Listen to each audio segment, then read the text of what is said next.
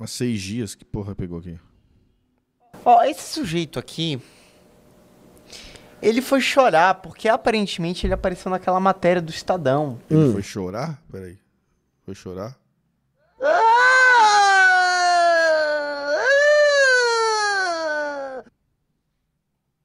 Sobre é? os influenciadores. É um tal de. Carlito Neto, historiador. Ah, esse cara. Ô, deixa eu contar um negócio. Ah. Sabia que esse cara, ele. Uma vez a gente falou alguma coisa. A gente falou que ia Ah, processar sim, ele. já sei. E ele ficava me mandando mensagem no WhatsApp. Pedindo, sim. Ele fica, esse fica me mandando várias mensagens. Primeiro, eu não sei como é que ele tem meu telefone. E dois. Vai fazer o quê me mandando mensagem? Primeiro, meio assustado. Depois, ele dando. um, Né, umas tipo, eu não estou nem ligando, vou pra cima, não sei o quê. Puta cara perturbado. Você tem probleminha na cabeça, ô historiadores, cientista político? Vamos lá. O Carlito Neto disse: "Ah, o Globo está preparando uma matéria para Ah, palavras duras, hein? sair amanhã. Calma, isso foi em O Globo falou que o Carlito era o da gabinete de- do amor? junho, né? Mas por que, que eu tô, a gente tá falando disso aí? Enfim, né, vou ler. Para denunciar supostos influenciadores que atuam como gabinete do ódio da SECOM inventada pela extrema-direita. Um repórter entrou em contato comigo. Fui super cordial e agora descobri que ele quer insinuar que eu produzo vídeos com capas e títulos falsos para enganar o público e que teria alguma relação com o governo. Algo que é falso. Meu trabalho é sério e respeitado. Inclusive por jornalistas do Grupo Globo que me preocupa. Nossa, tá. É... Por que, que a gente tá reagindo a isso? Porque ele gravou um vídeo sobre a gente. E aqui Onde ele. Ó, ele chega a uma conclusão muito boa sobre o MBL. Tá mais uma prova de que tem muita gente que tá aí fazendo parte da discussão política que quer se vender como relevante, mas que não tem qualificação. Diogo Amorim mandou 10 reais. Salve, Tamir. Viu o F. Ciro que o ICL mandou? Travou? Hoje, entre 9h30 e 9h38 reais. Pô, vou olhar, 930, 938. Valeu, mano, tamo junto. Vou ver.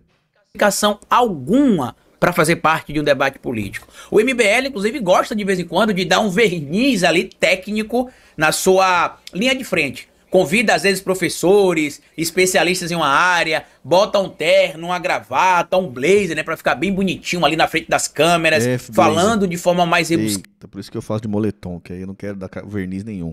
Vou colocar um blazer aqui, peraí. Peraí que eu vou colocar um blazer. Vou colocar um blazer aqui, peraí.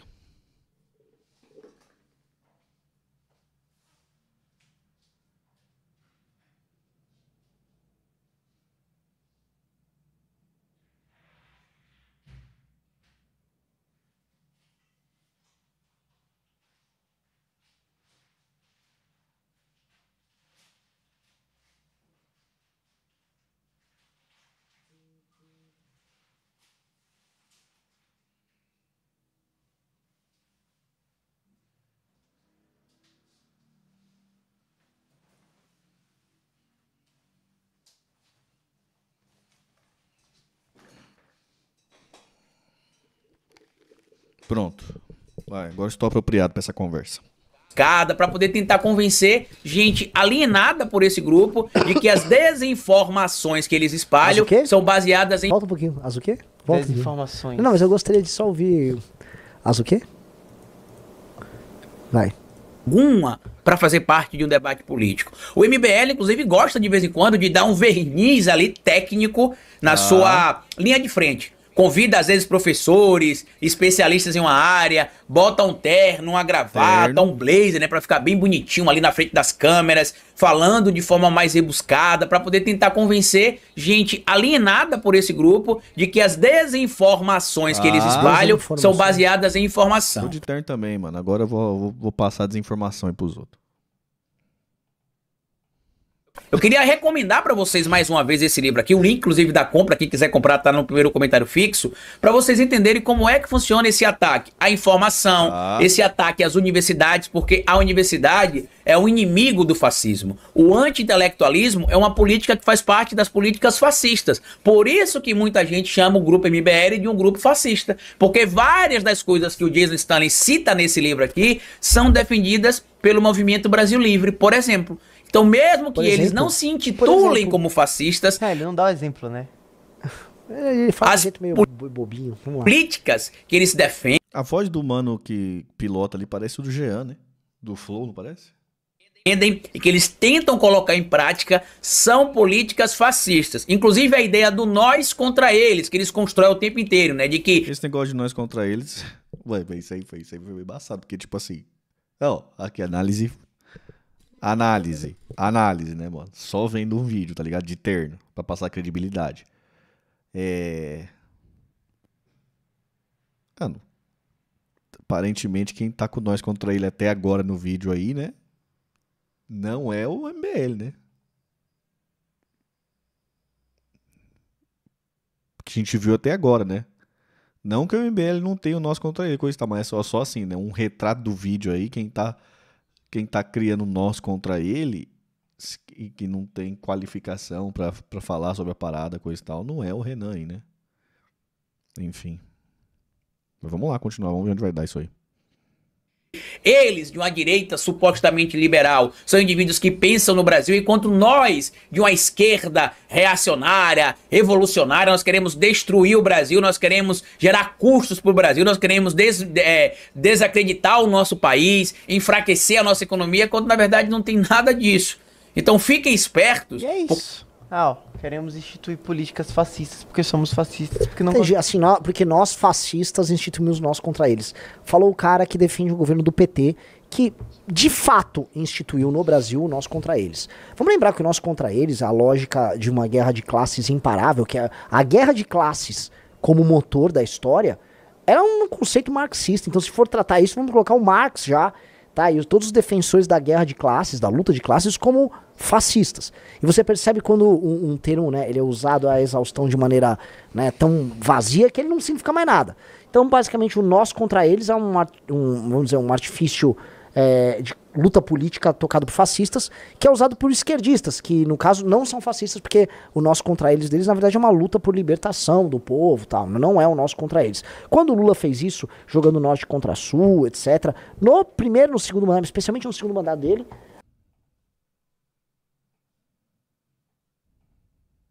aqui no Brasil também eh, vai ter polarização. E eu acho bom que tenha polarização. Nós somos uma sociedade viva. Essa polarização deve acontecer nas capitais. Nas capitais deve acontecer quem é o candidato bolsonarista e quem não é o candidato bolsonarista. Tá? Em São Paulo será muito visível isso. Possivelmente, não sei se em Recife vai ter candidato bolsonarista, não tem. Se tiver, sabe? Se tiver, vai, vai, vai, vai pegar. Sabe? Como é que fala? A cobra vai fumar se tiver. Ou seja, mas o que é importante é que quando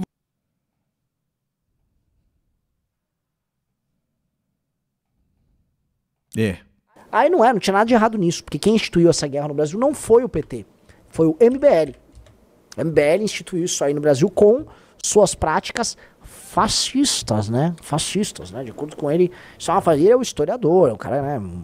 Manja muito aí, tá. Está É, eu acho que seria bom, tipo assim, né, mano? Porque, porque, assim, não sei, a galera. A galera, mano, com certeza alguém que fala aí que o MBL é fascista, coisa do tipo, deve ter algum. Ah, deve ter alguma base, né? Argumento. O argumento porque para eu fazer a afirmação que o MBL é fascista é esse, esse, esse, esse, esse, né? Eu acho que deve ter algum argumento, coisa do tipo, né? Que, pô, você olha assim e fala assim, é, a pessoa tem um ponto, a pessoa tem, mano, sei lá, posso concordar ou não concordar, mas a pessoa tem um ponto, coisa do tipo, né? É duro, né? Você só jogar assim e, porra, man- mandar um ler um livro tal, não sei o quê. Não sei, é meio. Eu acho meio em- empobrecer o debate, sabe? É empobrecer o debate e é meio que. E além de ter o intuito de empobrecer o debate, tem o intuito de interditar o debate, que aí é o que eu acho mais grave, né? Aí eu acho que é o. Aí eu acho que é mais grave mesmo, assim, né? Esse. Esse sentimento e essas ações e esse comportamento de sempre estar tentando interditar o debate, tá ligado? Desqualificando o intelectu- interlocutor, interlocutor para poder interditar o debate, você não é digno de, de conversar, né? Coisa do tipo, assim, eu acho isso muito problemático, velho. Sinceramente, eu acho muito, mas muito problemático. Enfim, né? ensinando aí como Será que o Brasil tem jeito? Pô, não sei, Newton, mano. Não sei. Eu espero que sim, né, mano? Porque a esperança é a última que morre, né? nós somos fascistas. Só uma Você é um observação. coitado, cara. É um Zé, Zé Ruela. O Guto processou o, esse sujeito porque ele mandou os seguidores dele irem bater no Guto na Paulista. Bem lembrado. O- Esse, é- muito bem lembrado. Muito bem. Será que foi por causa disso que ele ficou Foi, mandando foi por mensagens? causa disso. Né? Agora vamos ver, porque a gente vai passar agora pro nosso jurídico pra ver essa história de ficar chamando os outros de fascistas, chamar o coleguinha de fascista, se, Chamar o se enquadra aí fascista. processo. Vai pro jurídico, não sei se isso vai dar em processo, mas vai lá pro jurídico aí, pro historiador ter que contar muita história aí pra poder depois pagar aí pelo que... Por que, que eu tô de terno? Porque estão falando que pra conversar politicamente agora você precisa se qualificar e colocar um terno. Faz sentido isso aí, meu bem? Ou não? Não faz sentido. Meu bem falou que não faz sentido. Vou tirar o terno, então. Comete, né? né? Assim, é muito engraçado, porque se for falar de práticas fascistas, a ideia de você mandar, né, turbas, é, armadas ou não, agredir adversários políticos, tá na essência de grupos como fascistas, é na, né, aquela palavra com N-A-Z-I-S-T-A-S, né? Aqueles grupos faziam isso. Não que os grupos de esquerda também não o fizessem, pelo contrário, na gênese deles, né? O uso da violência política. Pelo amor de Deus, maluco. Cadê essa esquerda? Mas esse é um sujeito Tem ista, né? Aí você vê, né, mano, como é que. É... Puta, como é que o debate já fica lá no chão, né, velho? Ah, você vê, né, mano? Puta, o bagulho não é um debate sobre pastel de vento, né? Não, não é nem o pastel, é o hipotético pastel de vento e coisa do tipo, né? Não, não rende, né, mano? É, eu acho que, mano, esse é um dos maiores desafios, assim, mano, do Brasil, cara. É você propor um debate que seja. É, que seja honesto, que seja com os ouvidos e com a razão, né? Com os ouvidos e com a razão. Sentar, ouvir, argumentar, é, ouvir, refletir, argumentar, ser escutado, né? É difícil. Agora você viu, né? Pronto, virou, virou já o, virou sobre o terno, virou sobre o ismo, virou sobre turbas, virou sobre violência, virou sobre, né? Virou sobre tudo, né, cara? sujeito que propõe, que prega o uso da violência política contra seus adversários, tá? E que agora tá aí denunciando nós contra eles. Outra coisa que é muito engraçada, né? Ele tá citando universidade, né? Porque agora a esquerda é, deu pra gostar, né? Acho que o conhecimento científico não é ideologia mais, né? Ele é objetivo tal. Acho muito engraçado. Falei, Pô, que esquerda é essa, né? Foi mudando aí as interpretações. Só que depende, né? Depende do campo da ciência que aí você ouve a universidade, aí você não ouve a universidade, né? Certo conhecimento acumulado e conhecido sobre, por exemplo, economia é absolutamente ignorado por governos de esquerda. Basta ver a esquerda anticientífica em termos econômicos na Argentina, né? Que entregou o país aqui, ó, todo cagado, todo cagado. Ou as declarações que o Lula dá sobre o Banco Central brasileiro, que não tem, né? Não, as declarações do Lula sobre o Banco Central Brasileiro é certo, o que não é as ações dele que é errada, né? As declarações são certas, as ações que são erradas. E aí tá bom, aproveitar esse react aí pra propor um outro debate, né? Esse debate é importantíssimo, né, mano? Fica aí a pergunta mais uma vez pra galera que apoia o MBL, coisa do tipo. Qual é o efeito da taxa de juros em preços que são controlados pelo Estado? Essa é uma pergunta, mano, muito simples, entendeu? Qual é a lógica disso, mano? Preços que são controlados por pelo Estado sobem. O Banco Central atirar com taxa de juros. Qual é o efeito nesses preços? Cara, isso é, isso é uma pergunta importantíssima. Isso é uma pergunta importantíssima, né, cara? Assim como a discussão sobre essa BESP, coisa do tipo. Essa é uma outra discussão aí. Tô falando, perguntando na humildade mesmo aí, ó. Galera, pô, aquele vídeo que eu fiz sobre essa BESP, muita gente veio nos comentários lá, muita galera apoiador do ML veio, super ponderado, coisa do tipo. Mano, eu vou falar pra vocês que cada 10 que vinha com comentário ponderado tinha um lunático. Pedindo pra colocar três vasos de privada na minha casa, coisa do tipo, né? No mesmo um do lado do outro, né? Aí, pra cada 10 que tinha, assim, alguém argumentando, coisa do tipo, tinha uma galera é, a- alastrando, né? Tinha um alastrando, né? Muita gente também naquela confusão da Sabesp com, tá confundindo concessão com, com privatização, né? Contratação de serviço por, por, por terceiros, né? Coisa do tipo, com privatização e vender uma estrutura, né? Muita gente confundindo isso tal. Mas ali acho que ficou um discurso bem saudável, assim, né? Um debate bem saudável. Então essa da taxa de juros é importante também, né, mano? Qual o efeito da, do Campus Neto tirando com taxa de juros em preços que são controlados pelo Estado? né? Obviamente, vai, algumas franjas ali, né, da Unicamp lá, de economistas todos da Unicamp, né, "Oh, isso aqui é sério, isso é bom, mas no Brasil pratica economia é, a lá Bresser Pereira, né, e estamos vendo aí os resultados. Mas eu acho isso tudo, no mínimo, cômico, né, To- todo esse papo dessa galera é, é, no mínimo, e você tentar, olha, meu adversário é fascista aqui, porque eu O problema é que eles partem da ideia que a inflação é de demanda. É, eles partem dessa ideia, esse é o ponto. Ah, e tem que abrir o IPCA e ver, é demanda? É demanda? É demanda? E aí quando você atira com taxa de juros, você diminui o poder de consumo das pessoas. As pessoas vão deixar de, de usar a luz porque não tá tendo dinheiro aí? Vão deixar? Pô. Não tem efeito, não tem efeito. Pronto. Eu comprei um livro e esse livro está dizendo que meus adversários são fascistas. Então lê esse livro aí e ele explica por que, que meus adversários são fascistas. Mesmo que eu me encaixe em muitas das categorias que estão sendo colocadas aqui. Como vai baixar a taxa de juros sem responsabilidade fiscal? Aqui a gente defende a responsabilidade fiscal, mas justamente pelo motivo contrário, Elk. A gente defende justamente porque. para não ser refém desse tipo de, de, de, de chantagem. É isso. É pelo motivo. É, defende a mesma coisa, só que pelo motivo oposto. A gente reconhece que tem um problema na dívida brasileira, mas não de tamanho, e sim de perfil. Né? E a taxa de juros ela é o mecanismo que faz essa dívida continuar inflando, é isso. A conta descontrolada, é isso. A gente defende a mesma coisa, só que defende pelos motivos total- totalmente opostos. aqui, tá? Mas meu adversário é fascista. E outra coisa, re- responder com taxa de juros sobre uma inflação que não é de demanda, que não é de demanda. As Casas Bahia não tá cheia. Não, as Casas Bahia não tá cheia ó, de gente querendo comprar. A loja Americanas não tá cheia de gente querendo comprar chocolate, não tá. A Magazine Luiza não tá cheia, né? Não tá cheio. Os mercados, as pessoas não estão comendo mais, as pessoas não, não, não tá acontecendo isso, cara. As pessoas não estão usando mais luzes, coisas, não, tão, não existe essa demanda, né? Muito pelo contrário, a capacidade ociosa da indústria brasileira está na casa de 25 a 30%. Né? Não tem fábrica trabalhando, fábrica de geladeira trabalhando três turnos para dar conta da demanda. De tanta gente está querendo comprar geladeira. Isso não existe. O que está inflacionando os preços são os preços que são controlados por, pelo, pelo, pelo Estado. E o efeito disso na taxa de juros, um cara tirando taxa de juros, é, é nenhum. Se fosse de demanda a inflação, sim. Mas não é de demanda a inflação. A inflação não é de demanda. Você já sentiu merda numa discussão? Alguém Então fica aí a reflexão, mano.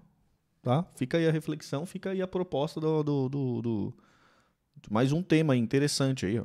Tema interessante para reflexão em conjunto, coletivamente. Beleza? A pergunta é: qual é o efeito da taxa de juros numa inflação de preços que são controlados pelo governo? Tá? Preços controlados pelo governo sobem, gera uma inflação. O Banco Central, ao ver essa inflação, atira com taxa de juros. Qual o efeito disso? Né? Se a inflação fosse de demanda, né? o que é a inflação de demanda? A fábrica, a fábrica de geladeira está produzindo, mano, trabalhando três turnos, produzindo o máximo de geladeira que, que, que consegue e tem mais pessoas na porta querendo comprar geladeira. Isso é inflação de demanda. Vai subir o preço para fazer um, um leilão reverso. Né? Tirar quem tem menos dinheiro da fila e pegar quem tem mais dinheiro. Isso é inflação de demanda. Não é o caso do Brasil. O Brasil, pelo contrário, as fábricas de geladeira, as fábricas de TV, as fábricas, né, as indústrias estão com a capacidade ociosa de 25 a 30%. Né? É isso. Ou seja, a inflação é outro motivo. Meu ponto é, esse outro motivo, abre lá IPCA, você vai ver quais são. Preços controlados pelo governo. Alimentos, né? Controlado como? Com estoque regulador. Energia, controlado com o, o monopólios, né? Monopólios naturais também são controlados pelo governo. Ou via estatal, diretamente, ou via regulação, também controlado pelos governos, né? Então vê lá, qual que é? Qual o efeito disso com o Campos Neto tirando com taxa de juros para combater essa inflação? Essa é a pergunta. Beleza? Ou o câmbio também, né? O câmbio gera inflação também. Porque os preços estão dolarizados. Também não tem nenhum efeito com a taxa de juros, né?